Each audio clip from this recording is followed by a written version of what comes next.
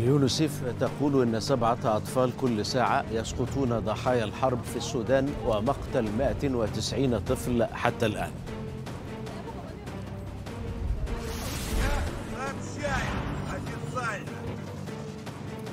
بعد تهديد طباخ بوتين نائب وزير الدفاع الأوكراني يقول إن فاغنر تدفع بتعزيزات إلى باخموت.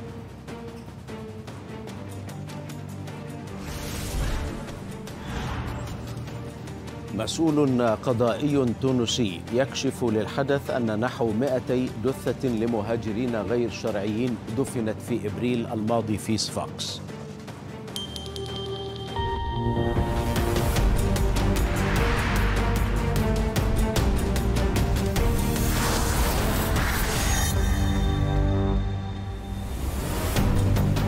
أهلا بكم إلى هذه الساعة الإخبارية من الحدث. نبدأها من الشأن السوداني وتحديدا قد حذرت منظمة اليونيسيف التابعة للأمم المتحدة من أن المعارك الدائرة في السودان منذ ثلاثة أسابيع تحصد أرواح أطفال بأعداد كبيرة ومخيفة.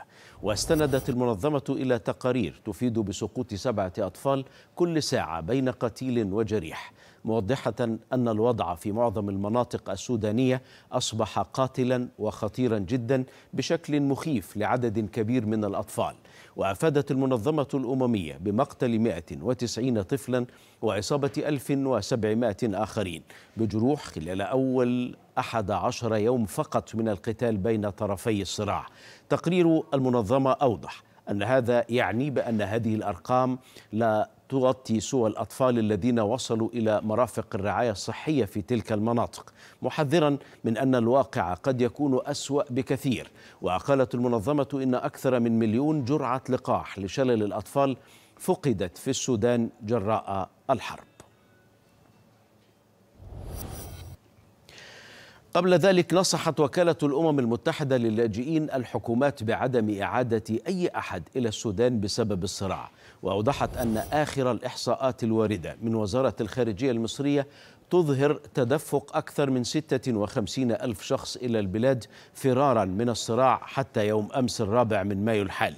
وذكر مكتب مفوضية اللاجئين في مصر أن من بين هؤلاء الأشخاص الذين دخلوا البلاد من معبري أرجين وقسطل ما لا يقل عن 52500 سوداني.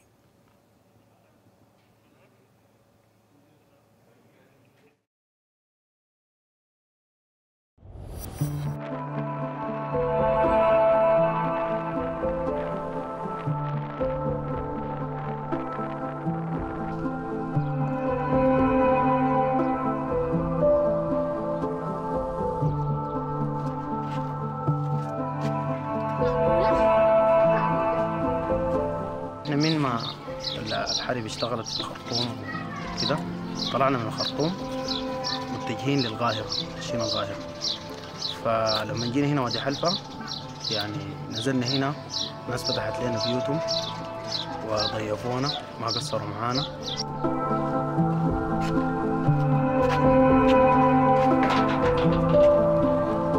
الحمد لله رب العالمين أتى علينا الحرب. والضرب والغزائف. الحمد لله رب العالمين. وتركنا الأملاك وتركنا البيوت وتركنا الحمد لله رب العالمين. وأتينا إلى وادي حلفة الحمد لله رب العالمين. استقبلونا. استقبال حار جدا جدا من شباب لأطفال لنسوان كبار الحمد لله رب العالمين. فتحوا بيوتهم من مأوى لمأكل لمشرب. الحمد لله رب العالمين. وذاهبين إلى أسوان إن شاء الله بإذن الله. وربنا يأمن السودان وتبقى أمان وفي سلام يا رب العالمين يا الله.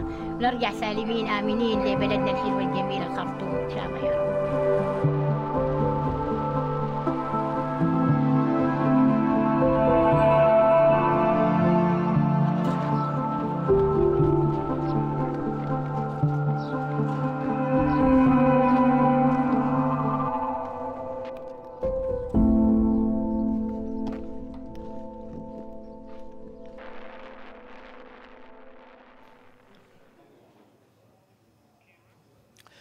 مع تفاقم الأزمة الإنسانية في السودان ظهر سوق جديد استغلته بعض الشركات الأمنية لتحقيق أرباح خيالية مقابل وعود لبعض سكان الخرطوم بمساعدتهم على الفرار. تفاصيل أكثر مع زميلتي هنا في الاستوديو نور الحسني. نور إليك التفاصيل الأكثر. شكرا محمود. منذ بداية الصراع في السودان لم تتوقف محاولات هروب الناس من العاصمة. ما فتح الباب أمام بعض الشركات لاستغلال الأوضاع واعدة بمساعدة من يرغب بالفرار بإيصالهم إلى بر الأمان. صحيفة لوفيغارو الفرنسية قالت إن شركات أمنية تستغل أعمال إجلاء الرعاية الأجانب من السودان وصفة هذه الشركات بعديمة الضمير. مشيرة أن الشركات الأمنية تستغل السكان العالقين في العاصمة لفرض أسعار باهظة مقابل إنقاذ أرواحهم. وقالت لوفيغارو إن بعض الشركات تتقاضى مبلغ 30 ألف دولار للفرد مقابل نقله من الخرطوم إلى بورت سودان. يضاف إليها مبلغ 8000 دولار للانتقال لاحقا عبر قارب. لفيغارو أشارت إلى وجود أكثر من 14 شركة تتاجر بعمليات الإجلاء من خلال الادعاء بوجود فرق تابعة لها في الموقع. منها شركات أمن أجنبية كانت محظورة من قبل ما دفعها إلى التعاون مع مشغلين محليين. ومع تعثر الصراع قالت الصحيفة إن اتجاه هذه الشركات بدأ الآن بالتحول نحو دعم الراغبين في العودة إلى السودان من صحفيين أو دبلوماسيين أو عاملين في المجال الإنساني. بينما أعلنت عدة وكالات تابعة للأمم المتحدة استئناف عملياتها في السودان. للأسف محمود واقع أليم وأزمة جديدة تضاف إلى أزمات الشعب السوداني. أشكرك نور كل ما قلتيه مهم جدا سنطرحه في تساؤلاتنا مع ضيفنا. عمل حسابك إخوانك قدامك يا فداي. عمل حسابك مبروك والله أحسن والله.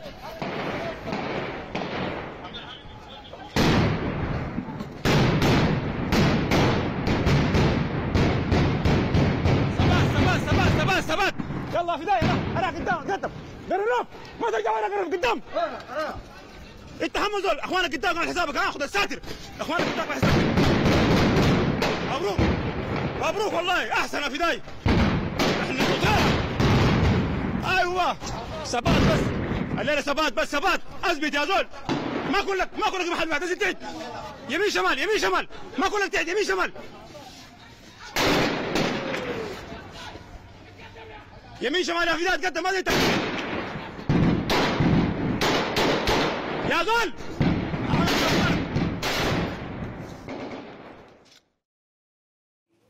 من لندن أستاذ أحمد سعدون الخبير القانوني في شؤون الهجرة واللجوء. أستاذ أحمد أهلا بك كيف يمكن توصيف هذه الحالة التي نحن بصددها في السودان؟ الحالات السابقة هجرة غير شرعية من دول شرق أوسطية إلى أوروبا دائما عبر البحر.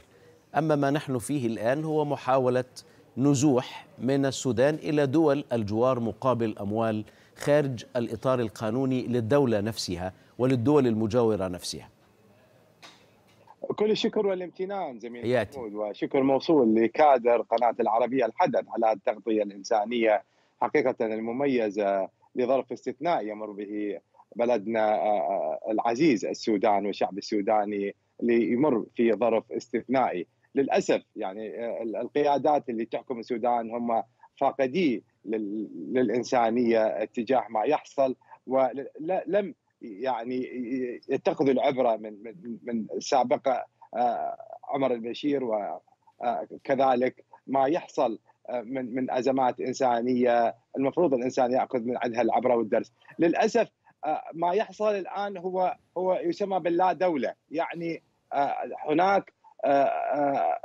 سوف تكون سوق رائجة لشبكات التهريب لشبكات ال- المافيا اللي تقوم بخداع الناس. آه، الناس مضطرين هم يعني مثل الغرقان اللي يتمسك بالقش في البحر. آه، ما يحصل هو خارج السيطرة للأسف. كذلك حتى في تقريركم أنه آه، آه، العبء الكبير هو على على على مصر تحديدا. نعم. وأنا عندي ثقة كبيرة بالقيادة المصرية بالشعب المصري بالقيام بواجبهم الأخلاقي والإنساني اتجاه ما يحصل من من من ظرف صعب. وهذه لابد أنه اجتيازها بالأيام القادمة. أستاذ أحمد كيف يمكن مساءلة هذه العصابات؟ يعني بمعنى هل هناك بند قانون دولي مثلا يمكن مساءلة هذه العصابات؟ لأنك لو سألتهم يقولون والله نحن نساعد الناس في الخروج من الدولة السودانية وليس هناك ما يمنع ذلك. لكن ليست هناك يعني شركات سياحية مرخصة. شيء الآخر أن الدول التي يتم النزوح إليها أيضا ما يتم خارج القانون بالنسبة لها. فهل هناك بند في القانون الدولي مثلا؟ أو في القوانين الخاصة؟ يحاسب عليه هؤلاء؟ تفضل. من دون شك هناك آه، قانون في في في في آه، يعني متعارف عليه دوليا. الآن يعني حضرتك غير خافي عنك الرئيس الأمريكي جو بايدن آه، تدخل الأمريكي خجول تدخل بريطاني خجول. أصدر قرارات بأنه بمعاقبة الدول اللي تحاول أنه آه، يعني تأجيج الصراع. اللي يحصل لابد أن يكون هناك تدخل دولي أوروبي بريطاني أمريكي استخباراتي لمعرفة آه، عمل تلك المافيا والشركات الأمنية اللي تعمل بطريقة غير إنسانية وغير أخلاقية لجر الناس البسطاء وسحب أموالهم بطريقة وخداعهم ال- ال- الأدق التعبير بأنه سوف يصلون إلى بورت السودان أو لا غير. اللي يحصل أنه هذا هو الاستغلال ال- ال- ال- اللا إنساني لهذا للظرف الصعب. لابد. أن يكون هناك آه، تدخل من من دول في وضع مستقر دول الاتحاد الأوروبي لأنه لأنه العمليات العسكرية يعني. أنا من خلال آه، متابعتي هي مستمرة عدم وجود حلول آه، آه، يعني آه، سريعة وحلول إيه آه، إيه أبرز ظرف الحلول. أستاذ أحمد يعني في منظمة للهجرة منظمة دولية للهجرة تتبع الأمم المتحدة لها دور دائما في الدول التي تتعرض لأزمات ويكون هناك حالة نزوح والحالة السودانية ربما تتشابه مع الحالة الأوكرانية لو تتذكر. يعني كان هناك نزوح نعم. أوكراني إلى دول الجوار الأوروبي لكن كان هناك اهتمام عالمي وكبير جدا من المنظمات. اليوم نحن أمام حالة نزوح سوداني من السودان إلى دول الجوار. ليس هناك أي اهتمام ولا أحد حتى يقول أي شيء. وبالتالي ما الذي يمكن أن يح- أن يحدث في هذه المسألة؟ صحيح يعني دائما المسألة غير عادلة في قوانين منظمة دوليه لكن ماذا يمكن أن يحدث في هذه الحالة؟ نسائل من؟ لل- للأمانة للأمانة يعني سؤال في غاية الأهمية زميل محمود. التدخل الأممي تدخل خجول. لابد أن يكون هناك تدخل عاجل على الأرض وعلى الحدود بين تشاد وبين وبين مصر. نعم. لأن تشاد دولة أصلا أفريقية وضع اقتصادي صعب. وبالمناسبة عندما تحدث هكذا كوارث وهكذا حالات طارئة هاي الدول غير مستعدة لاستقبال مئات الآلاف من من اللاجئين في في ظروف صعبة. فلا بد أن يكون هناك لأنه غير خافي عن حضرتك. أمريكا دول الاتحاد الأوروبي بريطانيا أجلت رعا- رعاياها وتركت ال- ال- ال- ال- المعركة والمحرقة مستمرة. هذه مسؤولية أخلاقية تتحمل آه، مسؤوليتها آه، آه، حتى بشخص رئيس غوتيريش. لابد أن يكون هناك تدخل عاجل ووجود على الأرض وقوات عاجلة دولية أن تتدخل. لأنه الآن من من يقود ال- ال- المعارك هم هو هذا القتال الداخلي الحقيقي. ومن يدفع الثمن هم ناس أبرياء. هل ممكن يعني تخصيص منطقة نزوح داخلي؟ يعني اختيار منطقة آمنة في السودان ثم إقامة آه، مجمعات وخيام وشيء من هذا القبيل في داخل الدولة نفسها والإشراف عليها وتوفير كل الحاجيات الخاصة بها طبيا وإنسانيا وأيضا طعام وشراب وغيره ومأوى من المنظمات الدولية حتى يتم وقف هذه الحالة وهي النزوح إلى دول الجوار. نعم. أتفق مع حضرتك. دول الاتحاد الأوروبي آه، آه، وبريطانيا تحديدا بإمكانها قيام بهذا الأمر بقيام بالقيام بمنطقة معزولة وإرسال طائرات عسكرية آه، كبيرة لتقوم بنقل تلك المعدات ونقل جاهزية. وهناك متطوعين حقيقة يحملون ال- ال- ال- ال- النفس الإنساني اتجاه تلك المأساة. وهناك حتى أشخاص من دول أوروبية يقومون بالتطوع مثل ما حصل لأوكرانيا لأنه بالنهاية العتب كبير على دول الاتحاد الأوروبي، هناك نوع من العنصرية سوف سوف. آه، آه، ما-. ما يحصل الآن يعني. أشكرك أشكرك أستاذ أحمد سعدون خبير قانوني في شؤون الهجرة واللجوء. شكرا جزيلا أستاذ أحمد. امتدت تأثيرات الحرب الدائرة في السودان على المغتربين السودانيين. في الرياض التي يجتمع بها أكثرهم يواسي السودانيون بعضهم البعض في الجلوس معا في المقاهي والجمعيات ويحاولون المساهمة في تخفيف المعاناة عن الشعب السوداني بأية وسيلة كانت. لم يألفوا حوارات تدور حول قصف وقذائف تضرب عاصمة بلادهم. بخور القهوة الذي يشاركهم الحديث يذكرهم بالدخان المتصاعد من أبنية الخرطوم. هكذا انقلبت أحوال الجالية السودانية في الرياض من حديث عن هموم الغربة إلى قلق على الوطن. الأوضاع سيئة بالنسبة لنا يعني لكن الناس مغتربين وبعيدين من أهلنا وكده. فالواحد يعني حزين لكن نسأل الله أنه ربنا يسهل الأمور ويرفع البلاء عن العباد والبلاد إن شاء الله. حتى ما قدرنا نعيد على عيالنا. فهمت علي؟ إنه الواحد ما قدر يصل لعياله عن طريق تليفون ولا عن طريق أي برامج من برامج التواصل الاجتماعي. في الأماكن العامة والأماكن الخاصة يشترك السودانيون في هذه الأيام بالحديث عن الحرب ولا غير الحرب.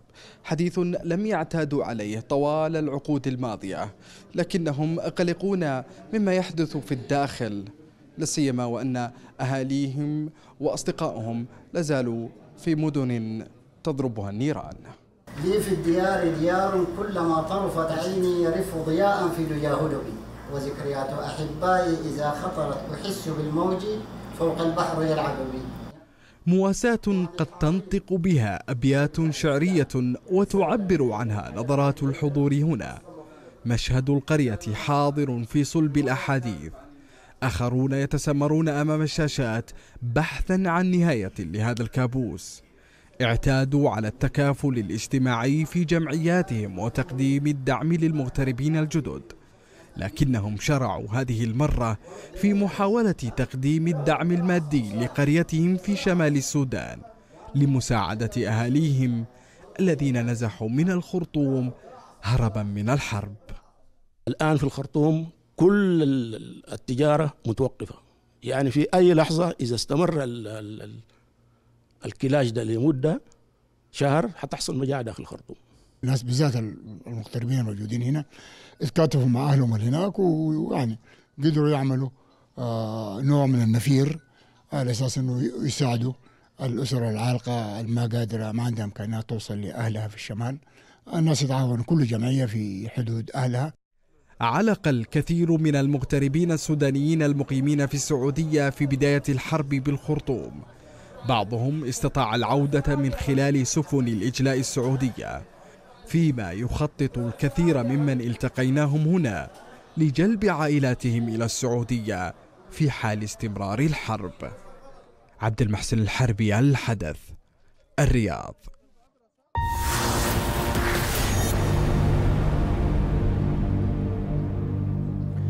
بعد الفاصل إلى عنوان جديد وفيه لافروف يقول إن روسيا منفتحة على آفاق التسوية السلمية في أوكرانيا إلا أن لصبرها حدود.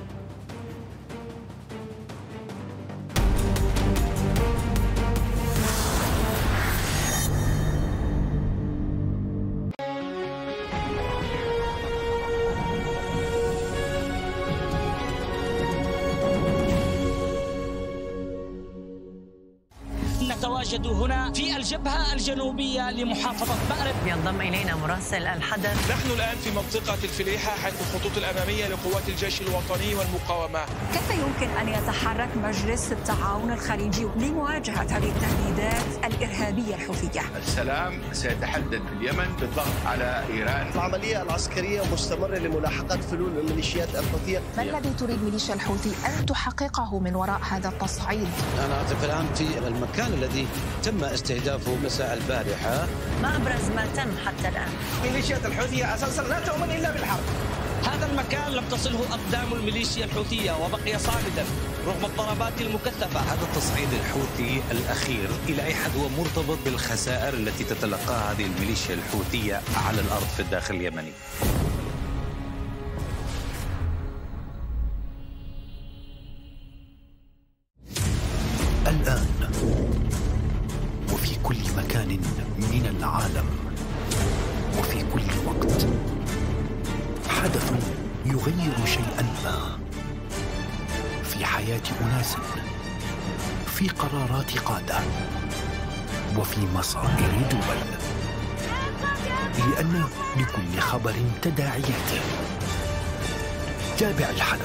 في مكانه وزمانه.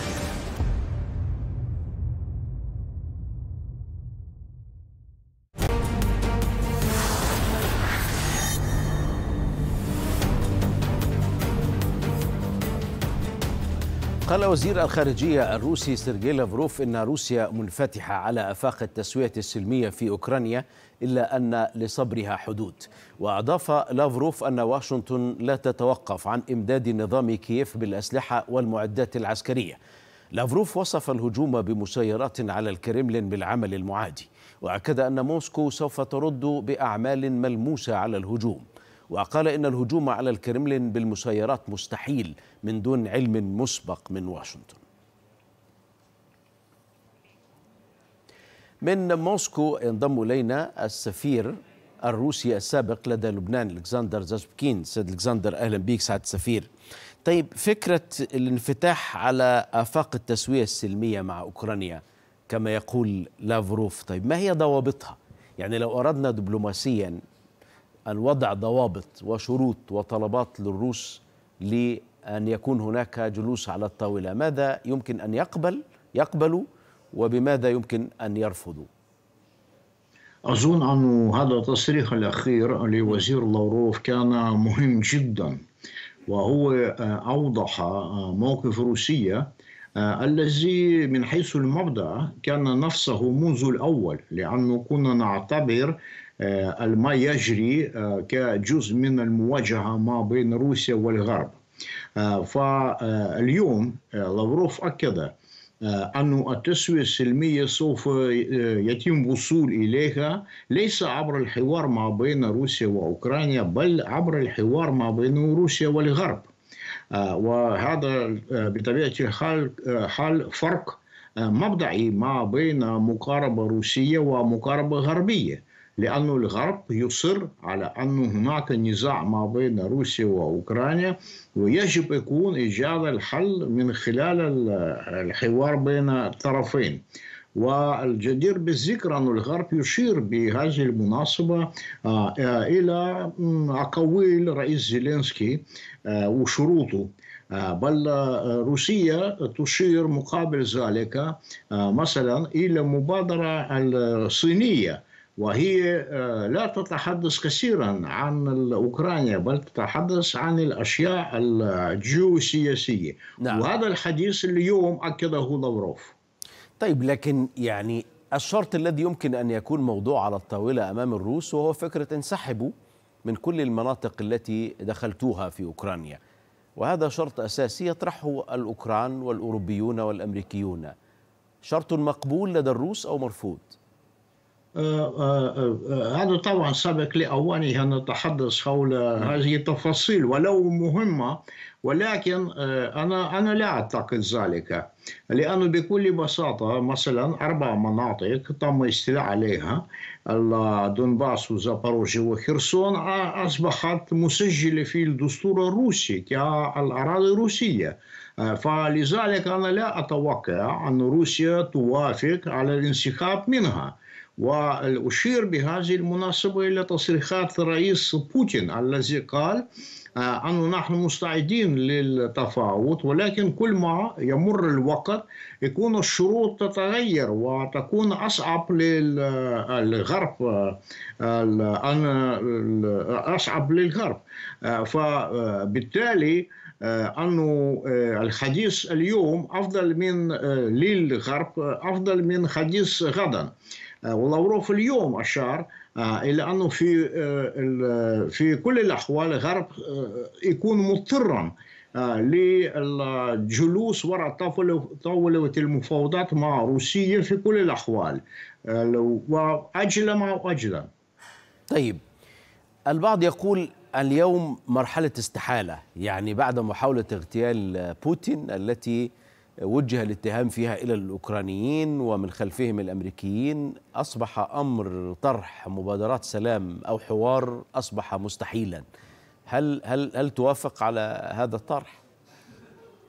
صحيح أنه نتيجة هذا العمل الإرهابي آه، فارتفعت أصوات في روسيا نعم. أن الوضع آه، تغير آه، نوعيا أنا لا أرى ذلك أعتقد أن هذه يعني محاولة إرهابية كانت أكثر شيء رمزية واستعراضية وحدث من هذا النوع ممكن أن يؤدي إلى تغيير ولكن أظن أن النهج الاستراتيجي الروسي سيبقى كما هو لأنه روسيا تريد يعني أن تنتصر في الميدان ويكون إجباري للغرب أن يتحدث مع روسيا هذا هو النهج وليس بدون هذه المفاجآت يعني فردي المحاولات فردية أحداث فردية. هناك من يقول سعد سفير أنه ما حدث في السابق شيء وما سيحدث الأيام القادمة شيء أكبر. يعني التصعيد أكبر الحرب تنفتح على كل السيناريوهات. الانتقام سيكون أكثر. ليست هناك أهداف ممنوعة ومحظورة بالنسبة للروس. كل أوكرانيا هدف للروس وبالتالي هذا كلام مخيف. هل تؤ... يعني هل تفضل نعم. أنا أنا لا أعتقد أنه يكون سوف يتم تغيير ليس فقط بالاستراتيجية بل بالتكتيك الروسي. والجواب اللي نحن نتحدث عنه مثلا عن على هذا الحدث الإرهابي ليس معاملة بالمثل. أنه البعض يتحدثون حول اغتيال عفوا الناس من القيادة الأوكرانية أو هناك افتراضات لقصف المناطق في أوكرانيا أنا لا أظن هذا لأنه النهج المضبوط الروسي هذا استهداف المنشآت العسكرية والبنية التحتية. وهذا هذا سوف يستمر. شيء ملموس اللي نحن ننتظر هذا تصعيد نتيجة للهجوم الأوكراني اللي نحن طبعا نعتقد أنه هذا شيء جدي لأنه السلاح موجود والقوى القوات المسلحة الأوكرانية قوية فبالتالي أن محاولة الهجوم الواسع النطاق هذا سيحدث أو في بعض التقديرات أنه بدأ. فبالتالي أظن أن هذا الشيء الأساسي الذي سوف يحدد مستقبل المعركة ومستقبل النزاع طيب الهجوم الداخلي الشارع الروسي والنخب الروسية في هجوم على القيادة الروسية وعلى وزير الدفاع تحديدا أنه غير قادر على الحسم أو أن الأداء لا يليق بما يملكه الروس من أسلحة ومعدات وأشياء من من هذا القبيل هل ترى هذا الانتقاد في مكانه وفي محله؟ يا يا سيدي هناك في خبر أنه فاغنر سينسحب وفي نقص بالذخائر هذا الخبر أنا غير قادر على على التعليق. لأنه هذا فعلا أنه شعبية فاغنر عالية في رئيس فاغنر يقول ذلك. في في مؤسس فاغنر بنفسه هو الذي ينتقد الوزير الدفاع وينتقد رئيس الأركان نعم. والشارع أيضا نعم. ينتقد وزير الدفاع ورئيس الأركان. نعم يا سيدي أنا أنا أكرر أنني أنا لا أستطيع أن أعلق عليه. يجب أن ننتظر الأخبار من المصادر الرسمية مسؤولة فلا نضيف ما فيش القيمة الإضافية بحديث المراقبين بالموضوع. الشيء الثاني أنه أنا لا أتوقع أبدا أي يعني ردود فعل من شارع من الجماهير أو شيء من هذا النوع. لا أبدا. أنا ما فيش العلاقة ما بين مثلا تصريح لرئيس واغنر لقائد واغنر والمزاج في الشارع.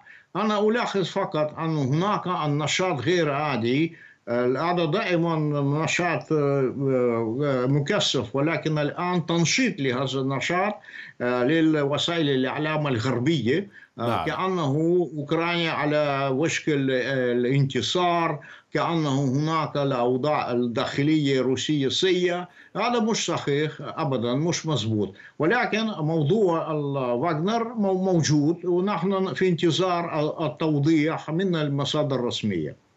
بشكرك سعادة السفير الروسي السابق لدى لبنان ألكسندر زاسبكين. شكرا جزيلا سعادة السفير فيما يتعلق بالهجوم الأوكراني المضاد والذي يتم التحضير له أفادت وكالة أسوشيتد بريس أن جنودا أوكرانيين يواصلون تدريبات مكثفة في الغابات تحضيرا للعملية التي تعول عليها كييف لتغيير مسار الحرب مع روسيا. وأفادت الوكالة أن الجنود يتدربون على تكتيكات الهجوم الجديد لفرق الحرس الوطني والتي تضم متطوعين كانوا تدربوا لبضعة أشهر على أسلحة قديمة. هذا ولا تزال الخطوط الأمامية الأوكرانية للمعارك شبه ثابتة منذ أشهر فيما تسيطر القوات الروسية على خمس مساح خمس مساحة أوكرانيا. ورغم تعزيز الولايات المتحدة وحلفاؤها ترسانة أوكرانيا بأسلحة حديثة أفادت الأسوشيتد بريس أنه لا يزال هناك حاجة لمزيد من الذخائر والقوة البشرية وقال وزير الدفاع الأوكراني إن الجنود الأوكرانيين يستخدمون في تدريباتهم المسيرات للكشف عن الإحداثيات بدقة وتمريرها إلى وحدة المدفعية ثم الهجوم.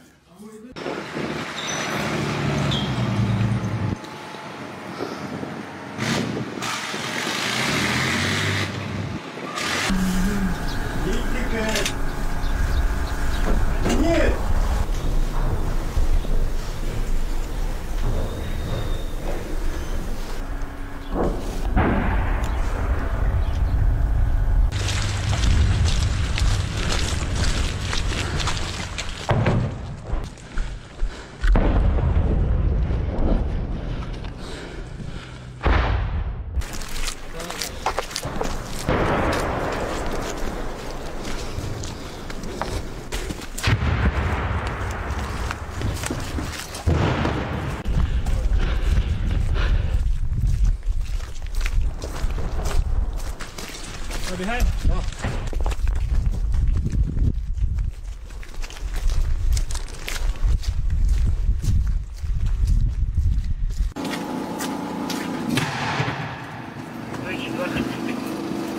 Плюс.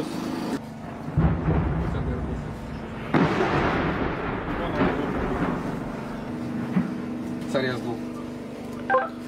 Тур, тур, серия с двух, серия с двух. С восстановлением наводки, с восстановлением наводки, как принял.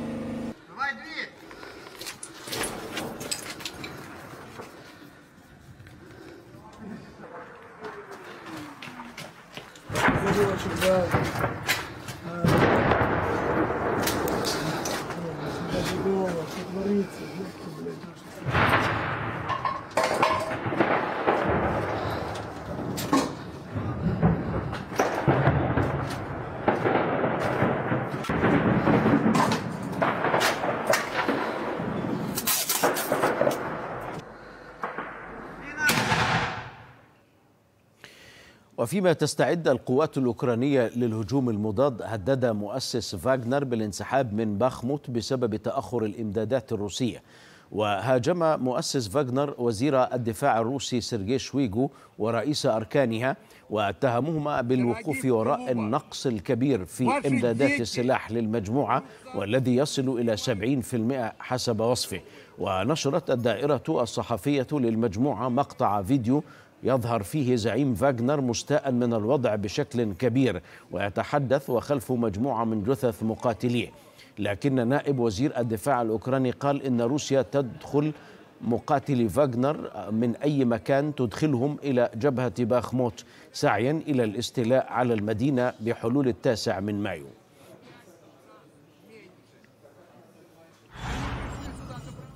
Я сообщаю официально أبعث برسالة رسمية إلى كل من وزير الدفاع ورئيس الأركان العامة والشعب الروسي بنقل المواقع في باخموت إلى وحدات وزارة الدفاع الروسية وعليه ونيابة عن مقاتلي مجموعتنا فإنه بالتاريخ العاشر من مايو مقاتلون سيذهبون إلى المعسكرات الخلفية على بعد كيلومترات لتضميد جراحهم وسيتركون مواقعهم للقوات المسلحة الروسية.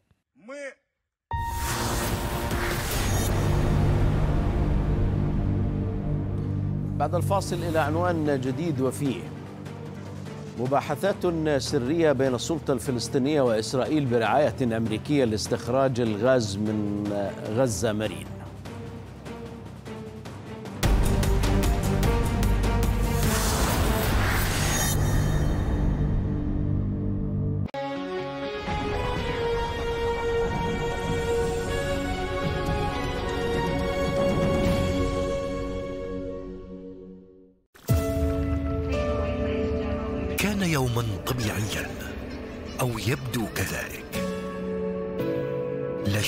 يختلف. انتظار انشغال. وسكون. كانت لحظة تسبق الخبر بقليل. ثم يبدأ حدث يؤثر على حياة الناس. تفاصيل تختلف. قصص تتشابه. ويبقى الإنسان محور الحدث.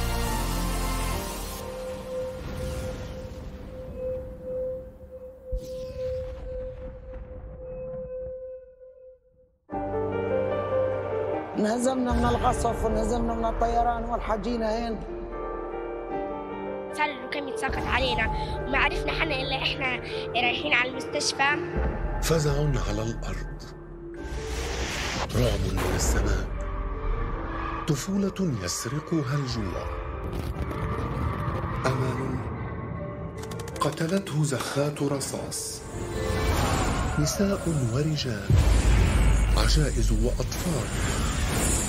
فرون من الجحيم. باحثون. عن المجهول.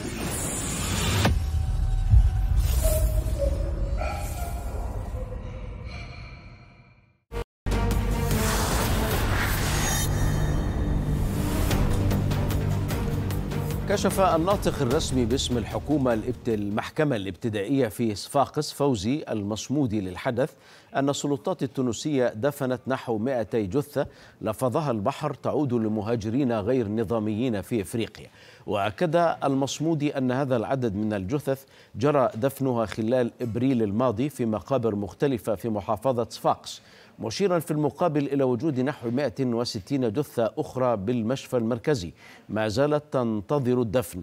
وحذرت السلطات الصحية في صفاقس من أزمة صحية وشيكة إثر تكدس عشرات الجثث لضحايا الهجرة غير الشرعية بغرفة الموتى بالمستشفى المركزي.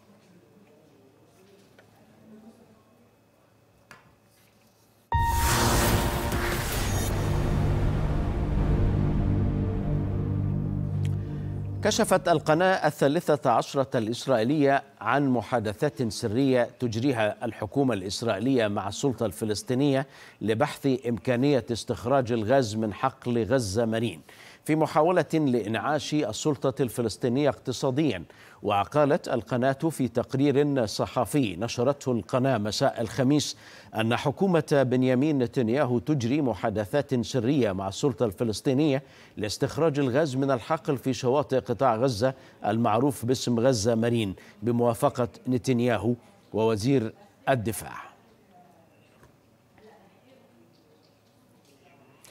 إذا نحن أمام مصطلح جديد انطلاقا من الاتفاقات الإسرائيلية اللبنانية حول حقول الغاز اللبنانية وهو ربما اتفاقات السلام المتعلقة بالغاز ما بين الدول من تحت الطاولة تطبيع كما يقولون. وسائل إعلام إسرائيلية كشفت عن مناقشات يجريها مسؤولون إسرائيليون وفلسطينيون لاستخراج الغاز الطبيعي من حقل غزة مرين. الحقل يقع على بعد 32 ميل قبالة سواحل قطاع غزة ويقدر احتياط الحقل بأكثر من تريليون قدم مكعب من الغاز الطبيعي وبطاقة إنتاجية سنوية مقدرة بمليار ونصف المليار متر مكعب ولمدة 20 عام. تقرير القناة الثالثة عشرة الإسرائيلية ذكر أن المناقشات بين السلطة الفلسطينية وبين إسرائيل تأتي كجزء من العملية السياسية والأمنية التي بدأت مؤخرا بين الطرفين بوساطة أمريكية. وأن مسألة تطوير حقل غزة مرين وإعداده لاستخراج الغاز كانت في صلب المحادثات التي أجريت في اجتماعي العقبة وشرم الشيخ اللذين جمع مسؤولين أو مسؤولين أمنيين وسياسيين من الجانبين الفلسطيني والإسرائيلي. وبرعاية أمريكا التقرير قال إن إسرائيل ترى أن هذه الخطوة قد تفيد الفلسطينيين اقتصاديا ما قد يساهم في خفض التوترات الأمنية على المدى البعيد رغم المخاوف من تحديات أمنية من جانب حماس التي لن تقف مكتوفة الأيدي حسب القناة الإسرائيلية. القناة كشفت تعقيدات طرحها الجانب الإسرائيلي بزعم أنه يحق للدولة فقط إدارة حقول الغاز من الناحية القانونية كما جرى في الاتفاق بين إسرائيل وبين لبنان في أكتوبر الماضي. نفى مصدر فلسطيني مطلع وجود أي اتفاق مصري فلسطيني إسرائيلي لاستخراج الغاز من حقل غزة مرين مشيرا إلى أن المشاورات تجري بين السلطة الفلسطينية ومصر فقط دون ذكر الجانب الإسرائيلي. واعلنت الحكومة الفلسطينية حينها تشكيل لجنة وزارية لمتابعه للمتابعة مع صندوق الاستثمار الفلسطيني لإتمام الاتفاق مع مصر لتمويل وتشغيل حقل الغاز الفلسطيني قبالة غزة. نناقش هذا الموضوع مع من القدس مع المحلل السياسي إيلي نسان إيلي أهلا بك مساء الخير إيلي كيف الحال؟ إيلي هل إسرائيل حاضرة في هذا الاتفاق أم أنه اتفاق فلسطيني مصري فقط دون أن يكون هناك حضور للإسرائيليين؟ حسب معلوماتك يعني. سيدي هذه القضية بدأت من منذ عام 2000 عندما تم اكتشاف حقل الغاز في في قبالة قطاع غزة. وهذه المحادثات استمرت حتى 2007 بعد حتى استيلاء حركة حماس على الأمور في قطاع غزة. جون كيري و توني بلير حاولا في عام 2013 بدء المحادثات. ولكن هذه المحادثات لم تفضي إلى أي شيء، صحيح أن كانت الحكومة السابقة بعهد في عهد لبيد وبينت محادثات بين إسرائيل ومصر بهذا الموضوع ولكن هذه المحادثات لم تفضي إلى أي شيء، وهناك فرق بين ما حدث في لبنان مع حكومة لبنان حول ترسيم الحدود بين إسرائيل ولبنان وبين ما يحدث في ميرين وقطاع غزة. ولكن هناك ثلاث مشاكل تعترض سبيل أي اتفاق يمكن التوقيع عليه في المستقبل. اولا السياسي من الناحية السياسية لا يمكن للسلطة الفلسطينية أو لقطاع غزة أو نعم قطاع غزة أن توقع على أي اتفاق بهذا الموضوع لاستخراج الغاز لأنه حسب المدلول الدولي فقط لدولة دولة قائمة يمكن أن تقوم باستخراج الغاز ويمكن بهذا الحال مصر ترعى هذه القضية وهذه القضية يمكن حلها. ولكن هناك قضايا استراتيجية أخرى وهي في حال تم استخراج هذا الغاز. طبعا إذا لم تكن إسرائيل طرف بهذه المحادثات كما تقول السلطة الفلسطينية لا لا يمكن التوصل إلى أي اتفاق بهذا الموضوع. ولذلك هناك قضايا استراتيجية. في حال استخراج غاز هذا الأمر يمكن أن يعزز مكانة حركة حماس التي تعتبر حركه حركة إرهابية. لكن إسرائيل إيل إيل هنا سؤال قبل أن إسرائيل تستطيع. ما دخل إسرائيل يعني؟ هذه قضية بين مصر هناك حدود متجاورة مع غزة. يعني أنتم كنتم تتحدثوا مع لبنان لأنه كانت هناك حدود. مشتركة. صحيح. لكن مال مصر ومال غزة يعني مال إسرائيل ومال مصر وغزة يعني, كل ما يعني كل ما هذا شأن فلسطيني فلسطيني مع دول الجوار اللي هي مصر الأقرب. ما دخل إسرائيل في غزة؟ كل ما يحدث في آه، آه، استخراج الغاز والغاز هو آه، بمشاركة مصرية.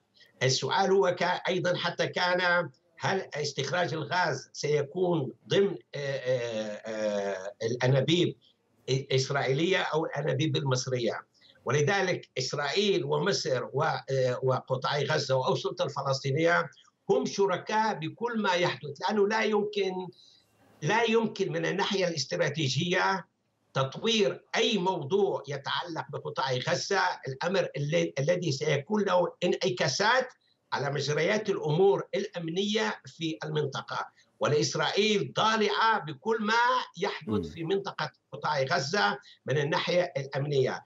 استخراج غاز وحتى هذا الأمر يضر ملايين الدولارات على حركة حماس. هذا الأمر له انعكاسات سلبية على الأمور لأن حركة حماس ممكن أن تستغل هذه الأمور ليس لمصلحة الشعب في قطاع غزة وليس آه، بشكل خاص لمصلحة الشعب في قطاع غزة. وإنما لامتلاك قدرة آه، وتسليح حركة حماس بهدف آه، إن حين ي- يح- يحن الوقت للمواجهة مع إسرائيل ولذلك إسرائيل هي طرف طرف هام بكل ما يحدث في منطقة بين إسرائيل ومصر وقطاع غزة.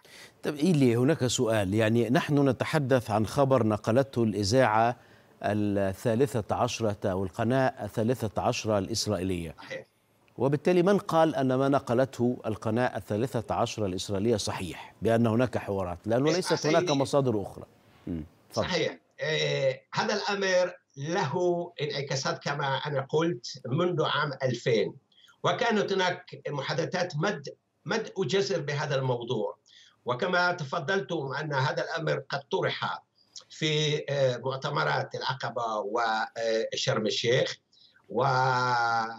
ورغم أن مكتب رئيس الوزراء آه، لم آه، يعقب على ما جاء في خبر القناة الثالثة عشر ولكن, هناك محاولات بهذا الموضوع الآن موجود في مجلس القومي برئاسة تحيا النكبي وهناك مشاورات بهذا الموضوع في المجلس القومي وربما إذا هذه المحادثات آه، نجحت نعم. ربما سيتم نقل هذه المحادثات وهذا الموضوع إلى الكابينت الإسرائيلي لمناقشة هذا الموضوع، طبعا أنا قلت نعم. أن هناك ثلاث قضايا، قضايا استراتيجية، قضايا سياسية وقضايا محلية.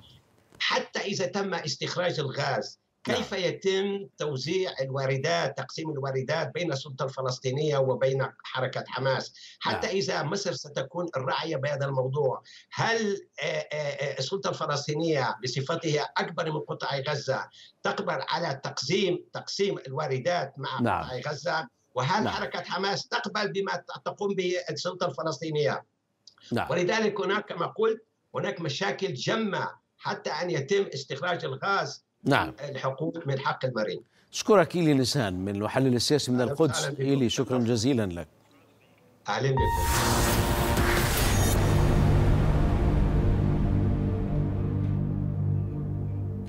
قال وزير خارجية الأردن أيمن الصفدي لشبكة سي إن إن الأمريكية إن الجامعة العربية ستبحث قريبا جدا عودة سوريا إليها واصفا هذه العودة بالأمر المهم. الصفدي قال إن هناك ما يكفي من الأصوات في الجامعة العربية لوقف تجميد عضوية سوريا وعودتها إلى الجامعة. إلا أنه أكد في الوقت ذاته أن هناك بعض الدول التي تفضل على الأرجح عودة سوريا للجامعة العربية في مراحل مقبلة. صفدي أشار إلى أن الحديث يدور الآن عن عملية سياسية بقيادة عربية لإيجاد حل للأزمة السورية تمهد للوصول إلى حل يتوافق مع القرار 2254 مؤكدا أن الولايات المتحدة تدعم ذلك. وقال الصفدي إن جميع أعضاء الجامعة العربية يتفقون على مسألة إنهاء الأزمة في سوريا لكن الاختلاف هو حل حول طريقة الحل.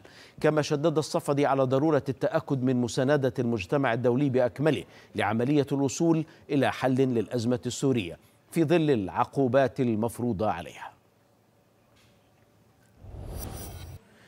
ومع تصاعد التضخم وتهاوي قيمة العملة والنقص الحاد في الوقود تتفاقم الأزمة الاقتصادية في سوريا يوما بعد يوم لتشمل معظم المناطق ما أدى إلى خفض القدرة الشرائية وارتفاع أسعار المواد الغذائية وغيرها بشكل غير مسبوق. في ظل الأزمة الاقتصادية بسوريا مزيد من الأعباء تضاف على كاهل السوريين وتحديدا الموظفين والعاملين في القطاعات الحرة. كل ما عم يصير في غلاء عم عم عم يقل عدد المبيعات. يعني أنت مثلا أول كانت مثلا القطعه 10000 ليرة مثلا سعرها كنت تبيع مثلا 50 60 قطعة باليوم بدون الموسم طبعا. هلأ ما كل ما عم تغلى عم تخف مبيعاتنا يعني طبعا.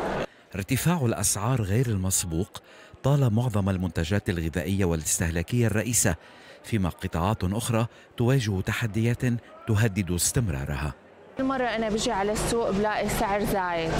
هو زايد هن التجار عم يزودوا هو زايد عم يوقف عليهم. هي القصة أنا ما بعرف شيء بس يعني ك ككواليتي إنه بالسوق فيك تلاقي شغلات منيحة بأسعار مقبولة بتخدمك.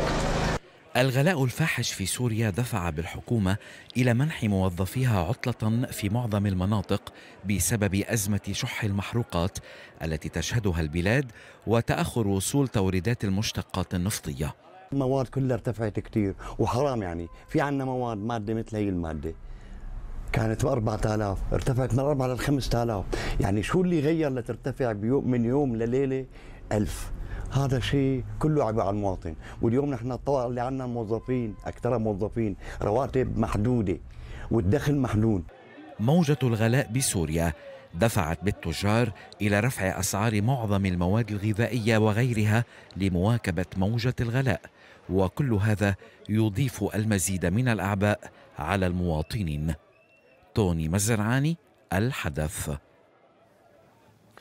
في لبنان المجاورة ارتفعت نسب مبيع الليرات والذهب مع فقدان الثقة في المصارف وتخوف اللبنانيين من الأزمة الاقتصادية العالمية خاصة بعد اندلاع الحرب الأوكرانية. منذ أربعة أعوام واللبنانيون يبدلون سبل المحافظة على أموالهم بعد أن خسروا ما ادخروه داخل المصارف. وبعد أن ملأت العملات الصعبة خزائن منازلهم قرروا استبدالها اليوم بالعملة المعدنية خاصة ليرات وأنصات الذهب. حتى أن الطلب ازداد لدرجة فقدت معه الليرات والأنصات من الأسواق. ذهب أكيد. ليه؟ لأن الذهب بتضل قيمته فيه المصاري عم تطلع قيمتها تنزل قيمتها. لا فيها نشتري لا ذهب ولا مصاري لأن العالم الحرامية ناطرين على نفرة لا بشتري ذهب ليه؟ لأنه الذهب بضل مثل ما هو. أوكي. جربت تشتري ذهب هالفترة؟ الصراحة لا. ما في مصاري؟ ما في مصاري. بتخليه بتشتري ذهب؟ مش لاقي لي هولي للشغل. إيه طيب okay إذا معك مصاري. إذا معي مصاري بساعد العالم لو غني. أنا فقير ما بشتري لا ذهب ولا شيء. معدن آه، معروف من ألاف السنين هو الأساسي بقى. واليوم العملة الورقية أنت بتعرفي وين ما كان عم تتلخبط كلها. هلا برمي كل محلات الذهب بتشوفي 95% الاتجاه على الأونصات والليرات. لا ينكر رئيس نقابة تجار الذهب والمجوهرات في لبنان أن محال الذهب تأثرت سلبا مع بداية الأزمة الاقتصادية ولكن الأوضاع تغيرت خاصة بعد اندلاع الحرب الأوكرانية حينها تخطى حجم مبيع الأونصات الأربعين أونصة يوميا لدى التجار. 2022 أو قبل شوي وصلت الأونصة ل 1625 دولار. زاد الطلب وحتى آه، السوق المحلي ما عاد يلبي لل- لل- للزبونات وللطلبات يعني تصوري اللي بده يشتري كان أونصات أو ليرات يحجز قبل بيومين ثلاثة أربعة خمسة أو يدفع حقهم لبعد أسبوع ليستلم. من هيك كان في ضغط كتير كتير قوي على آه، الذهب ال- اللي آه، ما عليه لا صياغة ولا عليه شغل. تحولت العملة المعدنية إلى مدخرات أصحاب الرساميل الصغيرة. أما كبار المستثمرين فيلجؤون إلى السبائك وكيلوات الذهب. بين العملة الورقية وليرات الذهب يفضل اللبنانيون ما يضمن عدم خسارتهم مرة أخرى لمدخرات عادوا لجمعها من الصفر. غنو يتيم الحدث بيروت. وصلنا إلى ختام هذه الساعة. أعود وألتقي بكم بعد ساعة من الآن. لكم دائما تحياتي.